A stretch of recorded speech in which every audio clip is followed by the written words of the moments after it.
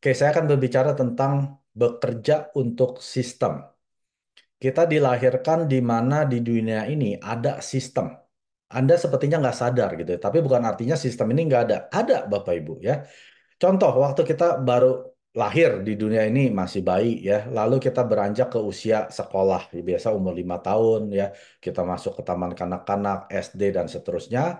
Lalu di usia 18 tahun biasa kita masuk kuliah ya, selesai SMA kita masuk ke perguruan tinggi.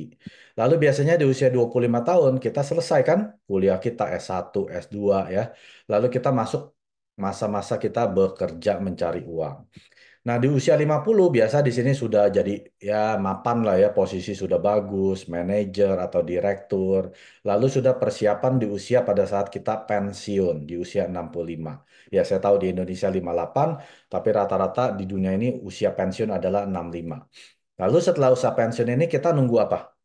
Nunggu dipanggil Tuhan ya. Nunggu masa-masa masuk liang kubur atau dibilang dengan masa pensiun. Nah, di sini kita lihat ya, fase-fase ini adalah yang dibilang dengan fase pendidikan usia 5 sampai 25 tahun. Artinya 20 tahun kita bekerja untuk sistem pendidikan. Ada yang masih ingat nggak? Sekolah jam 7 pagi, bangun jam 5, mandi dingin-dingin, sarapan masih meremelek, mesti uh, perjalanan setengah jam ke sekolah ya, mesti upacara. Nah, Anda mesti ikutin kan? Ada nggak yang nggak mau upacara di hari Senin? Bisa langsung dihukum gitu ya. Pendidikan ada sistem pendidikan ini ada sistemnya. Kita mesti ikutin semua sistemnya ini. Nggak boleh nyontek, nggak boleh berantem, nggak boleh rambutnya panjang, nggak boleh kukunya panjang ya, nggak boleh pakai roknya di atas uh, dengkul dan lain. Itu sistem Bapak Ibu. Anda bekerja untuk sistem pendidikan sampai Anda lulus kuliah. Masuk kuliah juga sama.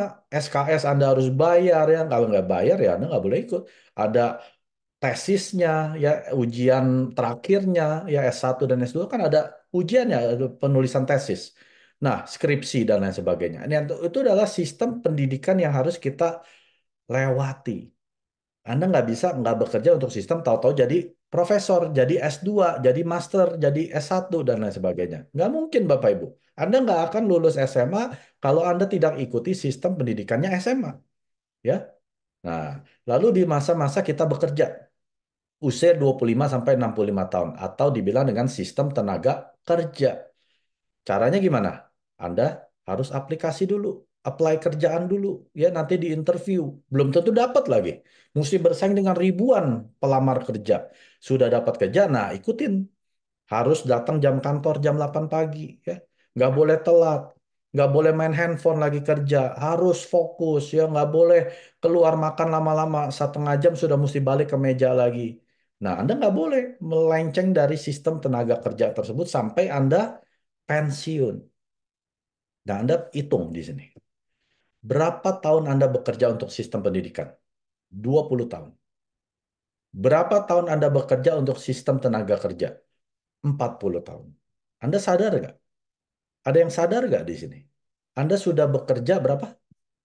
60 tahun kalau di total ya. Lalu sesanya Anda pensiun. Nah, di sini. Anda bekerja untuk sistem selama 60 tahun dengan harapan Anda bisa pensiun dengan nyaman. Apa yang terjadi dengan kenyataan? Tanya ke diri Anda yang sudah pensiun atau yang sudah mendekati usia pensiun. Tanya ke diri Anda, apa Anda akan layak pensiun Anda? Apa Anda bisa bekerja di usia pensiun Anda sampai Anda meninggal? Ingat loh, usia manusia udah bukan lagi 70 tahun. Statistik mengatakan rata-rata 90 tahun. Jadi Anda masih punya masa hidup 25 tahun tanpa harus bekerja untuk sistem. Anda udah nggak bisa lagi bekerja untuk sistem. Udah usah pensiun Bapak Ibu. Anda melamar pekerjaan disangka Anda orang gila. Usia 65. Melamar kerja mau jadi apa? Otak juga sudah nggak encer. Jalan juga fisik udah nggak bagus. Ya, sakit-sakitan mulu lagi. Nanti ngabisin asuransi kantor anda pasti nggak dapat kerjaan. Nah, Setelah kita pensiun, punya 25 tahun, yaitu masa pensiun kita, mau ngapain? Saya sudah bekerja 60 tahun untuk sistem lupa Mike. Kok pensiun saya tidak terjamin? Artinya apa? Artinya Anda bekerja untuk sistem yang salah. Kalau Anda mengerjakan untuk sistem yang benar, harusnya setelah Anda pensiun, Anda bisa menikmati hasil kerja untuk sistem Anda, apalagi 60 tahun loh, dengan layak. Tapi karena Anda bekerja untuk sistem yang salah, Anda berasa bahwa, oh saya punya kerjaan, berarti saya sudah bagus, akan pensiun dengan belum tentu. Pekerjaan Anda, bisnis Anda, bukan jaminan Anda bisa pensiun dengan layak. Sudah bukan. Apalagi di zaman setelah pandemik ini, kondisi ekonomi berubah 180 derajat.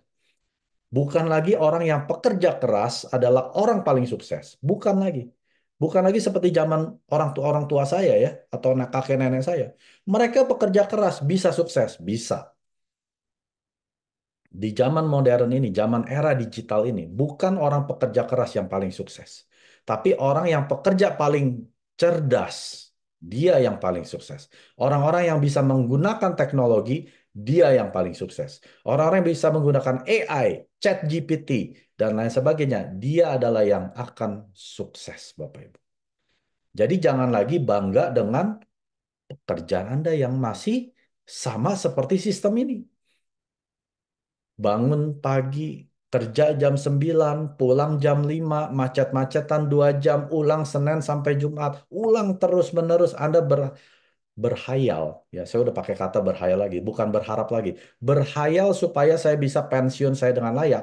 Anda sedang bermimpi di siang hari bolong. Ya, jangan sampai Anda salah satu adalah orang yang bekerja untuk sistem yang salah. Nah, sekarang Atomi juga suatu sistem, Bapak Ibu. Makanya saya pakai judul apa? Bekerja untuk sistem Atomi. Di Atomi ada tujuh hmm, sistem.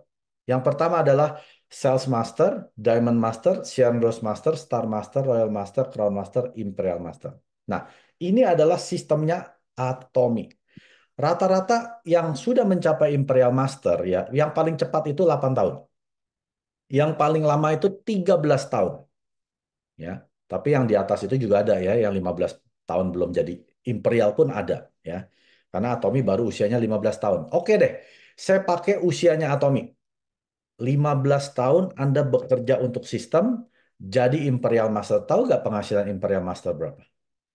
Satu miliar sebulan. Oke? Imperial Master penghasilannya satu miliar sebulan. Bukan setahun, Bapak Ibu. Satu miliar sebulan. Ingat-ingat tadi slide yang sebelum ini. Kerja untuk sistem 60 tahun. Penghasilan Anda satu miliar sebulan nggak? Satu miliar setahun nggak? Nggak, Pak Mike. Cuma 300 juta. 60 tahun cuma 300 juta. Anda bekerja untuk sistem yang salah. Sekarang saya sudah tunjukkan. Ini loh sistem atomik. Bekerja 15 tahun, jadi Imperial Master, penghasilan Anda 1 miliar. Mau gak Anda? Layak gak diperjuangkan? Kalau saya, saya akan gila-gilaan sampai saya jadi Imperial Master. Karena tidak ada lagi sistem yang seperti Atomi. Kerja 15 tahun penghasilan 1 miliar sebulan. Nggak bakal ada Bapak Ibu. Anda boleh cari di luar sana. Ya, seandainya ada yang kasih 1 miliar, modal Anda pasti miliaran juga. Atomi modal Anda berapa? Saya tanya, berapa yang keluar modal di sini? Pak Mike kan saya sudah keluar modal sikat gigi, odol, sampo, sabun mandi. Loh, emang kamu kalau nggak di Atomi, kamu nggak mandi, sikat gigi, keramas, cuci baju? Gara-gara di Atomi, Anda sekarang jadi sikat gigi, mandi, keramas, cuci baju? Enggak kan? Jangan bilang itu investasi kamu. Itu produk kebutuhan kamu yang menjadi investasi kamu di Atomi. Beda dengan bisnis lain, Anda mesti investasi dulu, belum tentu dapat hasil. Kalau Atomi, kita pakai aja produk keseharian kita. Ini modal kita. Ini investasi kita. Akhirnya bisa dapat penghasilan. Nah, ini hebatnya sistem Atomi. Kalau Anda belum ngerti, ngertiin dulu. Ya. Bukan artinya sistem atomi jelek, Andanya belum ngerti. Ya, mengertiin dulu. Sistem atomi akan memberikan Anda satu miliar pada saat Anda menjadi Imperial Master sebulan. Kerja gila-gilaan 15 tahun. Makanya jangan males-malesan. Suruh Zoom meeting males. Alasan HP-nya rusak. Alasan kuota datanya nggak punya. Beli. Cari duit. Jual nasi goreng. Beli handphone. Suruh hadir ke seminar. Nggak punya dana untuk ke SA. ya 150 ribu katanya nggak punya duit. Cari duit setiap hari 5 ribu perak. Masa 5 ribu perak nggak bisa dapat? Pungutin aja puntung rokok jual. Pungutin aja kardus-kardus, pungutin aja tuh apa tuh botol-botol aqua jual sampai dapat 5 ribu perak. Sampai Anda bisa hadir ke SA. Nggak punya uang. Ongkosnya gimana Pak Mak? Ya udah cari aja 10 ribu sehari. Itu buat ongkos kamu. Masa 150 ribu ongkos nggak cukup? Jangan bikin alasan. Ya, mau penghasilan 1 miliar dalam 15 tahun sebagai Imperial Master, bayar harga di awal. Apa yang Anda bayar? Suruh Zoom aja nggak mau. Suruh hadir ke ODS aja jauh. Suruh hadir ke SA aja nggak punya uang. Apa yang Anda bayar? Apa yang harga yang Anda bayar? Jangan bilang produk yang Anda pakai itu harga Anda. Bukan. Itu produk kebutuhan yang Anda wajib pakai sebagai layaknya manusia. Kalau Anda sudah bukan manusia, sudah pasti nggak pakai produk-produk kebutuhan harian. Tapi itu bukan bayar harga, Bapak Ibu. Bayar harga di sini adalah Anda kurangi masa waktu pribadi Anda, Anda tambah masa waktu untuk sistem atom. Tapi kan saya mesti kerja, Pak Mike. Saya nggak bisa ambil cuti. Jangan cuti jalan-jalan. Punya cuti 12 hari, ambil cuti untuk hadir SA. Sistem atomil. Kalau Anda masih mau kerja untuk sistem Anda yang lama sebagai pegawai 60 tahun, ya 40 tahun lah. Anda mau sistem yang sana, silakan. Ambil cuti, jalan-jalan. Jangan harap jadi Imperial Master. Ya. Punya cuti 12 hari, pakai ini untuk hadir ke SA. Saya nggak bisa, bos. Setiap akhir bulan hari Jumat saya akan ambil cuti. Saya udah booking dulu satu tahun. Untuk ngapain? Saya sedang bekerja untuk sistem atom. Penghasilan satu miliar sebulan setelah 15 tahun. Bikin dong target seperti itu. Bikin dong komitmen seperti itu. Bayar harga dong. Jangan cuma mau duitnya, nggak mau bayar harganya. Ya, banyak orang seperti itu Bapak Ibu. Makanya nggak heran mereka nggak sukses. Saya kasih tahu penghasilan. Sistem atomi ya. Di awal-awal Anda sebagai sales master sekalipun biasanya nggak ada uangnya. Bahkan mencapai Diamond Master pun, aduh penghasilan kerja saya lebih besar. Saya kerja 15 juta, Diamond Master belum tentu 15 juta. Betul kan? Tapi kerjanya udah kayak orang gila loh.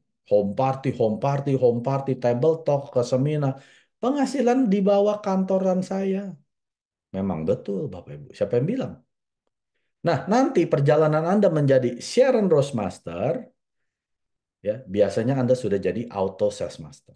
Kalau Anda jalaninya dengan benar. Apa itu jalankan dengan benar? Bukan main investasi. Bukan main beli produk jadi stokis. Bukan main jadi reseller di Topet, Lazada, Amazon. Bukan. Cara yang benar adalah Anda menciptakan jaringan konsumen yang kuat. Orang-orang yang akan pakai produk Atomi seumur hidup mereka karena produk kualitas bagus dijual murah. Itu jaringan yang kuat. Ya, jadi bukan orang yang mau duit Atomi, akhirnya dia cari investor. Bukan seperti itu. Sampai ngutang sana sini demi jadi sales master, diamond master, Sharon Rose master. Bukan seperti itu Bapak Ibu. Kita bukan kayak MLM di sana. Yang jalaninnya ngaco. Bikin jaringan konsumen yang kuat. Orang-orang yang cinta produk Atomi sampai mati. Anda pasti penghasilan 25 juta sebulan sebagai auto sales master. Ya. Lalu sistem Atomi berikutnya pada saat Anda Sharon Rose menuju Star Master, penghasilan Anda biasanya 100 juta sebulan. Nah, di sini Anda mendapatkan Leaders Club PIN member, ya. Lalu perjalanan Anda menjadi Royal Master, Anda biasanya menjadi Royal Leaders Club. Penghasilan 200 juta per bulan. Ingat loh, ini sistem atomi ya. Anda bekerja dulu di awal. Bekerjanya di mana? Di sini. Sampai Anda jadi Auto Sales Master. Ini pekerjaan paling sulit di sistem atomi karena Anda sedang membangun jaringan konsumen. Lalu pada saat Anda menjadi leader, di sini Anda sedang membangun jaringan leader. Makanya Anda dapat PIN Leaders Club karena Anda seorang leader yang menciptakan leader-leader baru di bawah Anda. Dalam perjalanan Anda menuju Crown Master, nah penghasilan Anda berapa? 400 juta sebulan sebagai Crown Leaders Club member. Ini sistem atomi. Tadi saya bilang apa? Penghasilan Imperial Master. Ya, plafon penghasilan atomi. Satu miliar sebulan. Berapa tahun? 15 tahun. Tapi untuk siapa? Bagi orang-orang yang mau bayar harga. Anda tidak bayar harga, jangan harap jadi Imperial Master. Ya, ya mentok Auto Sales Master lah. 25 juta. Mentok. Karena Anda tidak bayar harga menciptakan leader-leader baru di bawah Anda. Sudah pasti Anda nggak akan masuk Leaders Club, Royal Leaders Club, Crown Leaders Club, bahkan Imperial Master. Lupain saja. Jadi ini adalah sistem atomi. Anda bekerja yang lama, yaitu 60 tahun bekerja untuk sistem, dengan harapan saya bisa pensiun. Ternyata kenyataannya enggak. Sekarang ada pilihan, peluang dari atomi, yaitu bekerja 15 tahun di sistem atomi, bayar harga di awal, Mr. Pak bilang apa? 3 sampai 5 tahun dan Anda nikmati masa pensiun Anda 1 miliar sebulan. Kalau saya, saya mending pilih yang ini Bapak Ibu.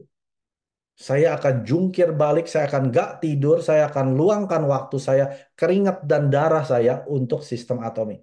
Karena sistem yang lama ini nggak akan membuahkan pensiun yang layak untuk saya dan anak-anak dan cucu-cucu saya. Di atomi penghasilan kita, berapapun Anda bisa wariskan ke anak dan cucu. Kenapa nggak diperjuangkan? Baru tiga bulan, kena penolakan, menyerah. Baru enam bulan, ditolakin keluarga, menyerah. Katanya susah, katanya ini, katanya itu. Anda tidak layak dapat penghasilan satu miliar. Ya, sekarang saya akan kasih tahu bagaimana caranya Pak Max saya supaya bisa tekun masuk belajar bekerja untuk sistem atomi. Saya kasih tahu. Pertama, lakukan secara rutin dan berurut delapan langkah sukses tersebut. Jangan pilih-pilih. Saya nggak mau yang nomor tiga, saya nggak mau yang nomor enam, saya nggak mau yang nomor delapan. Nggak boleh. Mulai dengan nomor satu, dua, tiga, empat, semua berurutan. Nggak boleh di skip. Saya tidak akan menjelaskan secara detail. Anda boleh tonton sudah banyak ya video 8 langkah sukses terutama yang Chairman Pak Hangil atau mau nonton yang saya juga boleh ada di sana ya. Yang pertama, tetapkan impian atau mimpi-mimpi Anda dan target kerja Anda. Itu yang pertama. Tetapkan dulu mimpi Anda apa, bikin target kerja. Kedua, bikin komitmen, bertekad untuk mewujudkan impian dan target tersebut. Ketiga, bikin daftar nama. Ya, jangan berserang dulu. Berserang nanti kalau daftar nama Anda sudah habis. Udah nggak ada orang lagi yang mau daftar. Nah, Anda nggak punya siapa-siapa lagi. Satu-satunya Anda harus berserang. Ketemu 100 orang sehari. Kalau daftar nama Anda belum habis, Anda jangan berserang.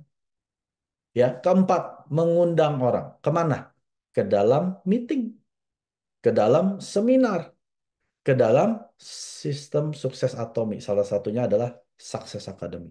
Undangin terus. Ya. Karena besarnya bisnis atomi Anda dinilai dari berapa banyak orang yang Anda undang ke dalam sistem sukses atom.